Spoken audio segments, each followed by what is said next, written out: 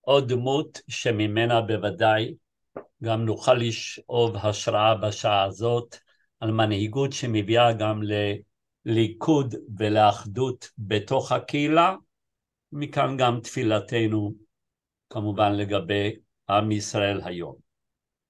ומן העולם הרבני, מן ההנהגה הרוחנית, אנחנו רוצים לעבור להנהגה מדינית, פוליטית, כללית, ולשמוע גם משהו ממשנתם ומהגותם של מנהיגים גדולים שהיו לעם ישראל, למדינת ישראל, בדורות האחרונים, ואנחנו מתכוונים כמובן לדוד בן גוריון למנחם בגין. את הדמות הראשונה יציג פרופסור אבי בראלי ממכון בן גוריון לחקר ישראל והציונות שבאוניברסיטת בן גוריון בנגב.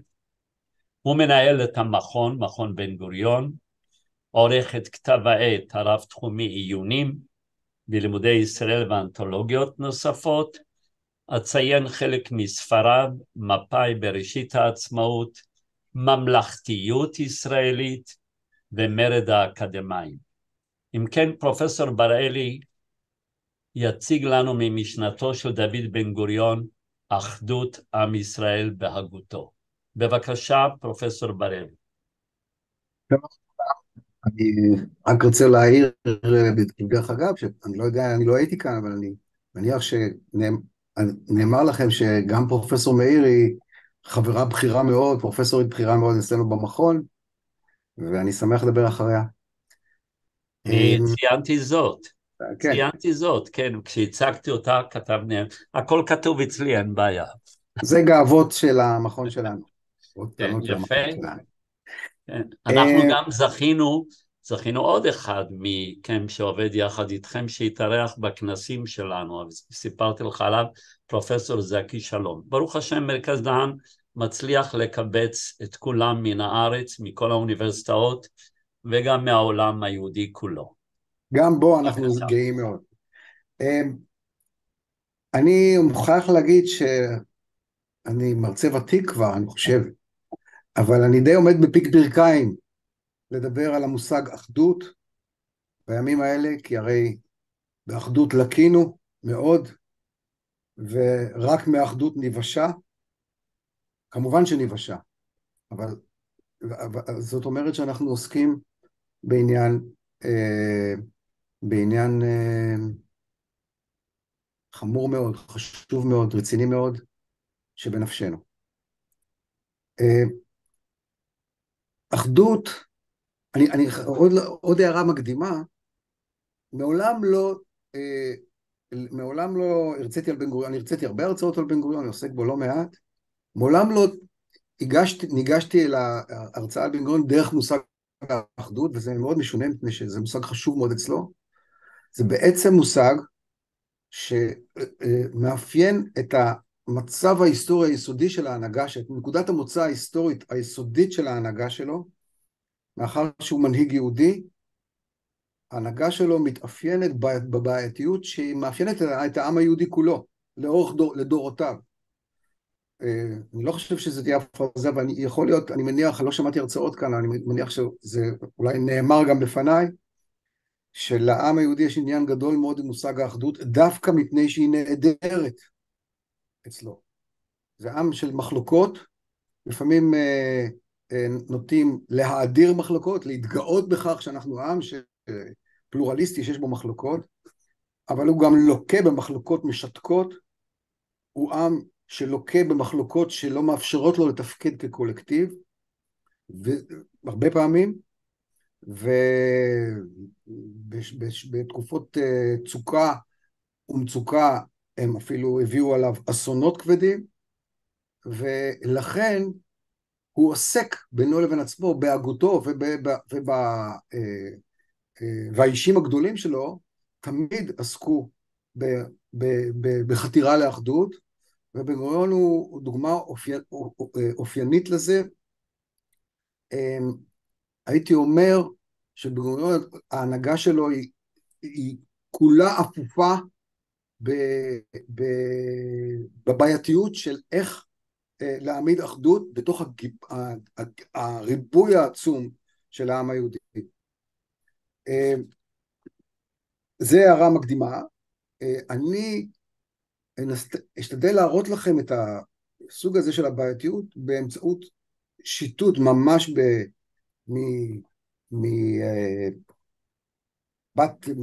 ממבט מעין הציפור על שלושת העשורים העיקריים של המנהיגות של בן גוריון, כלומר שנות ה-30, ה-40 וה-50. וזה יהיה כמובן, מאחר שזה, שזו, שזאת, זה המהלך שלי, אז אני כמובן אדבר דברים דחוסים מאוד מבחינה היסטורית וכלליים בעיקר. תראו, בן גוריון ב-1944 אה, נואם אחד, הנאום, אחד הנאומים החשובים שלו, אחד, שאחר כך כונס באחד המאמרים החשובים שלו, אולי המאמר החשוב שלו, לפחות לפי דעתי, אה, הוא נואם בחיפה בפני הנוער או הצעירים של מפא"י, שהתפלגה לפני אה, פחות משנתיים, ב-1940, הוא נואם את זה ב-1944, היא התפלגה ב-1942. אה, נאום שכונס אחר כך למי שמכיר במאמר שכותרתו ציוויי המהפכה היהודית. זה אחד הנאומים החשובים ביותר של בן גוריון. הוא עוסק במושגי המחשב... הוא, הוא, הוא, הוא uh, פורס את מושגי המחשבה הפוליטית החשובים ביותר, העיקריים שלו, ובאופן בלתי מפתיע, מושג האחדות, הנושא של האחדות, הוא אחד מהחוטים המקשר... אחד מ... זה חוט השני, אולי העיקרי, או אחד מהם, במאמר החשוב ביותר. זה אחד המאמרים הציוניים החשובים ביותר. המאמר הזה שכותרתו בסופו של דבר הייתה אה, אה, ציוויי המהפכה היהודית, המהפכה היהודית הכוונה כמובן לציונות, אבל זה לא מקרה שהוא קורא לה לציונות מהפכה יהודית. לכל המעוניינים שחושבים שבגרון הוא איזה מנהיג כנעני, שבא אה, פוסט יהודי או אנטי דתי, אה, זה לא מקרה שהוא קורא למאמר הזה ציוויי המהפכה היהודית. והמושג אחדות הוא המושג, אה, הוא מושג המפתח שם. עכשיו, תראו, השנה הזאת, 1944, היא כמובן, כידוע לכל מי שקצת מתמצא, זאת אחת, זה אחת, אולי שעת השפל החמורה ביותר של העם היהודי בכל תולדותיו. שעת החולשה, שעת האסון הכבד ביותר בכל תולדותיו. 1944, כבר חלפו אה, יותר, חלפה יותר משנה עד שבסוף 1942 התנועה הציונית הודיעה לעולם וליהודים שמתבצעת אה, השמדה תעשייתית של היהודים באירופה, וזה רק אמצע של תהליך אה, משברי שהתחיל הרבה קודם לכן, כבר בשנות ה-30 לפחות, ובעצם בשנות ה-20. כלומר, בן גוריון נושא את הנאום הזה בפני הנוער של אה, מפא"י, מפלגת הפועלי ארץ ישראל, בנקודת שפל לא רק של המנהיגות שלו, בנקודת שפל של העם, חמורה ביותר של העם היהודי כולו. ובעצם, והיא כמובן גם תוצאה של חוסר ההצלחה עד כה של התנועה הציונית לרכז את העם היהודי למאמץ הגדול לחלץ את העם היהודי מהאסון שהלך והתרגש עליו. והאסון שהתרגש עליו לא התרגש רק אה, אה, בשנות ה-40 ואפילו לא בשנות ה-30, בזמן שבן גוריון עולה להנהגה של העם היהודי, זה מעש, ראו מעשה פלא, בן גוריון עולה להנהגה בהדרגה מתחילת שנות ה-20 ונעשה מנהיג. אה, מובהק של היישוב ב-1935, אה, בואכה שנות המשברים שאח, שאחרי העלייה הזאת אל, אל מלחמת העצמאות ושנות ה-50. זאת אומרת, בשנות ה-20, כבר שבן גוריון נעשה, מתחיל את צעדיו הראשונים, הראשונים בתור אה, מנהיג אה, בארץ ישראל, לאחר, בתחילת המנדט, העם היהודי נכנס לתוך מלכודת מוות, שמתחילה דווקא בפולין, בניגוד למה שמקובל לחשוב, אה, אה, מלכודת שכרוכה במשטרים אנטישמיים שצומחים אחד אחרי השני במזרח ומרכז אירופה, המשטר הנאצי הוא רק החמור אבל האחרון שבהם, כמובן החמור אבל הוא הוא האחרון שבהם, אה, אבל כל העם היהודי, במרכזי האוכלוסייה שלו, נכנס למלכודת של שערי לא רק עלייה אלא גם מגירה לשאר העולם חסומים והתפתחות של שטנה אנטישמית אלימה שאופפת אותו כמו עננה שחורה בוודאי בשנות, בשנות ה-20 אפשר להגיד שגם לפני כן, מפני שבמלחמת האזרחים האוקראינית ב-1918 נרצחו כנראה קרוב, קרוב ל-200 אלף איש באירוע שבאופן משונה היהודים אה, לא, לא נוטים לזכור. אני לא מכיר הרבה עמים שישכחו אירוע כמו מה שקרה ליהודים באוקראינה בתום מלחמת העולם הראשונה וראשית עליית הקומוניזם ברוסיה. אז עולה בן גוריון לשלטון, הוא, מג, הוא, הוא, הוא מתחיל לטפס בן גוריון במעלות המנהיגות, והוא מגיע בסופו של דבר להנהגת, ה, אה, להנהגת התנועה הציונית ב-1935, או אם אתם רוצים ב-1933 הוא מנצח בבחירות ונעשה יושב ראש הנהלת הסוכנות היהודית ב-1935, כאשר המשבר הוא, ב, הוא הולך אל, אל, אל, אל, אל, אל הסגירה הטראגית שלו עם עליית היטלר. היטלר כבר בשלטון, אה, ואנחנו יודעים את, את המשך הסיפור. המשך הסיפור הוא כמובן אה, ההשמדה האיומה ב, ב, אה, שמתחילה ב-1941 עם הפלישה, עם הפלישה הגרמנית לברית המועצות. איך בן גוריון מתמודד עם הדבר הזה? כאן אנחנו, אנחנו נוטים, רובנו שמכירים את בן גוריון הגדול, החזק, בן גוריון המנצח, לאחר מלחמת העצמאות, המנהיג שהוא כביכול כל יכול, הוא לא היה כל יכול, ב-15 השנים הראשונות של מדינת ישראל. ואנחנו חושבים שזה גם בן גוריון של שנות ה-20, או לפחות שנות ה-30, כשהוא כבר נעשה, כשהוא, כשהוא רוכש מה שקוראו לו הגמוניה בתנועה הציונית. אבל לאמיתו של דבר, בן גוריון עומד בראש חברה מפוררת, שהיא לא, שהיא, אה, אה, אה, והוא, והוא עומד בראש כוח פוליטי בכלל לא חזק כמו שאנחנו חושבים. כבר ציינתי קודם שב-1942 כאשר התנועה הציונית, באותו זמן שהתנועה הציונית מודיעה על, על, על, על שהיא יודעת, מודיעה לציבור שהתברר לה שה, שהיהודים מושמדים באופן תעשייתי בידי הגרמנים בש... ב... ב... ב... במזרח אירופה. באותה שנה בדיוק הכוח הפוליטי העיקרי של התנועה הציונית שבן גוריון עומד בראשו מתפלג ופורשים ממנו, אה, פורש ממנו אותו כוח שמייצג אה, אה, את מי שיהיו, את הפלמ"חניקים, הפלמ"ח יוסד בעצם שנה קודם אבל הפלמ"חניקים נעשים חשובים יותר מאוחר. הוא מאבד את הבסיס הזה בתוך, בתוך המפלגה שלו.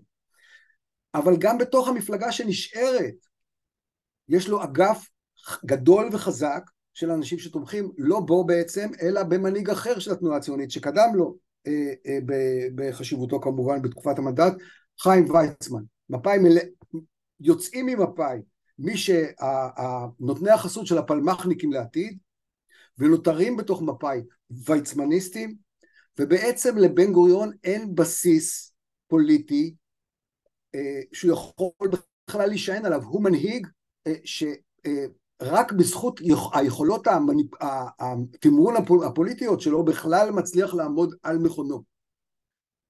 זאת אומרת שזה לא סתם שבן גוריון בשלב הזה, אחרי שקורו כל הדברים שכרגע אמרתי לכם, ב-1944, בא ואומר לתומכים הצעירים שלו בתוך מפא"י, אלה שנשארו שם ולא הלכו למתפלגים ביותר משנה קודם לכן, מציג את מושג האחדות כמושג מפתח ביכולת שלנו להיחלץ מעמק הבכה שהעולם, שהעם היהודי נכנס אליו. כלומר, בן גוריון הוא מנהיג שאני רק העמדתי אתכם רק על קצה, אה, קצה הקרחון של, ה, של הבעיה החמורה שהוא, שהוא נתקל בה כמנהיג, והיא חוסר הלכידות הפוליטית והתרבותית של העם היהודי, ולא הזכרתי שום דבר, את, הפ, את הפילוגים, המ, ה, ה, עדיין לא, לא הזכרתי בכלל, ואני גם לא אוכל להיכנס לזה, לא הזכרתי את, ה, את הפילוגים העדתיים, ש, שהיו קיימים גם אז בתוך היישוב, לא הזכרתי, לא אמרתי דבר על המחלוקות המעמדיות שהיו ביישוב, ולא אמרתי דבר וחצי דבר על הפערים בין אה, החזונות הדתיים והחילוניים של, אה, וזה רק הפשטה אה, מרדדת לפיצולים של היישוב שבן גוריון עמד בראשו.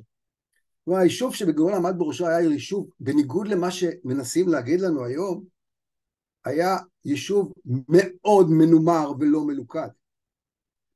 ותוסיפו לזה עוד דבר אחד, זאת לא הייתה מדינה ריבונית, כך שלהנהגה לא היה בכלל, אה, לא היה בכלל יכולת אכיפה. ותוסיפו לזה עוד עניין אחד. אני לא, זה פה זום אז אני לא יכול לשאול אתכם, אנחנו לא יכולים לשוחח כאן, אבל בדרך כלל כשאני מדבר על הנושא הזה אני שואל את האנשים, מי הוא המנהיג שקדם לבן גוריון שעמד בראש היישוב? מי, מי קדם, את מי ירש בן גוריון בתור מנהיג היישוב? והתשובה היא, אנשים נותנים כל מיני תשובות, יש כאלה, הידענים מתחכמים ואומרים לי, פרדריך קיש היה אה, יושב ראש הנהלת הסוכנות לפניו. יש כאלה, זה כמובן שטות, אה, כי הוא לא היה מנהיג היישוב. יש כאלה שמנסים להגיד לי שחיים ויצמן היה מנהיג היישוב, וזה גם שטות, כי הוא אפילו לא גר כאן. האמת היא, רבותיי, שבן גוריון ב-1935 הוא נעשה המנהיג הראשון של היישוב. לא היה מנהיג שקדם. אי אפשר לדבר, או גם אוסישקין לא היה מנהיג היישוב, נניח, לפניו. או דיזינגוף. הם לא עמדו בראש היישוב, אי אפשר, אי אפשר בשום, איך שלא תסתכלו על הדבר הזה, בן גוריון לא, לא היה אדם מקביל לבן גוריון שהחזיק את היישוב תחת הנהגתו. עכשיו, זה לא דבר קטן, כי העובדה שלחברה, והייתה חברה יישובית, אין הנהגה, היא אחד מה... אין הנהגה אה, מקובלת, היא גילוי מובהק של העובדה של, ש, שהחברה הזאת היא מפוצלת. כלומר, בן גוריון, בא, יחד עם מפא"י, המפלגה שלו, בעצם העלייה שלו להנהגה, היה אלמנט חשוב מאוד של מאבק כנגד הפיצול של החברה שהוא עומד, שהוא בראשה. עכשיו, זה גם, זה, אני, הטענה הזאת שלי כמובן תתנגש אצל יודעי דבר עם העובדה שבן גוריון היה איש פולמוס מובהק מאוד. אדם שמנהל מאבקים על ימין ועל שמאל לכאן ולכאן. הוא השאיר אחריו בקריירה הפוליטית הארוכה שלו הרבה אנשים שהוא ניצח בפולמוסים האלה ובמאבקים האלה. הזכרתי את הפלמ"חניקים, אני יכול להזכיר הרבה אנשים, הרבה קבוצות. שאצ"ל, אה, אה, תלמידי ז'בוטינסקי, אה, הציונות הדתית, בתוכה רווחים תחושות כאלה של של מרירות כלפיו. וזה נכון, בן גוריון בדרכו ללכד את החברה היהודית הקרויה, המעין אוטונומית, הקרויה היישוב היהודי בארץ, אל אה, פאזה היסטורית שתוכל, שתאפשר לו להקים מדינה, הדרך שלו הייתה דרך פולמוסים ומאבקים. אבל מה הייתה התכלית של הפולמוסים האלה? התכלית של הפולמוסים האלה הייתה אחדות. התח... מפני שאם אני צריך להגדיר את בן גוריון, הגדרה אחת מבחינת מה האיש הזה עשה בעולם, הייתי אומר שבן גוריון הוא אדם ששייך לקבוצה קטנה מאוד של בוני אומה. עכשיו, תגידו לי, מה, זה, מה זאת אומרת בוני אומה, האומה היהודית? בן גוריון המציא את האומה היהודית? לא, כמובן שלא המציא את העם היהודי. הוא נולד לתוכו, לא המציא אותו. אבל את העם היהודי כקולקטיב פוליטי, כקולקטיב פוליטי שיכול להתנהל כקולקטיב בהיסטוריה האנושית, בתוך התנועת, בתוך תנועת הרצל, ויצמן וז'בוטינסקי, בן גוריון לראשונה מצליח ללכד ככה שאפשר יהיה לפעול פעולה היסטורית אפקטיבית. ולכן, oh.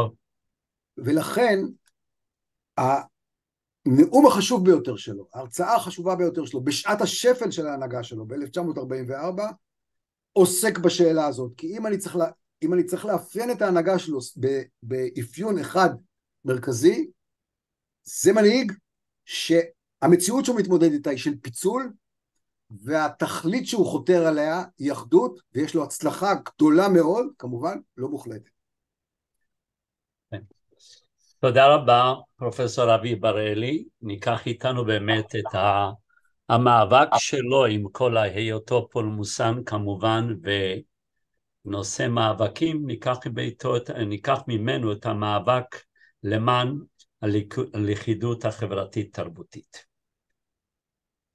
במצב שהיה באמת לפני קום המדינה ואחרי קום המדינה.